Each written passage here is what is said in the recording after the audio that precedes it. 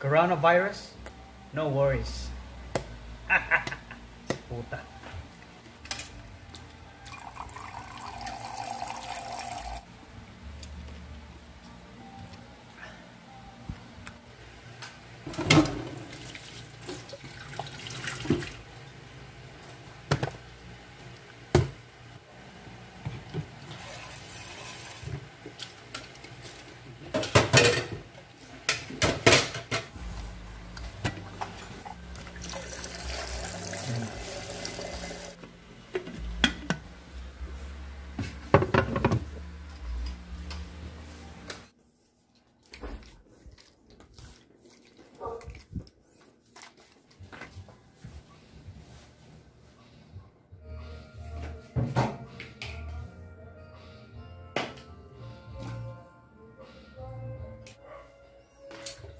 Eh, sa puta.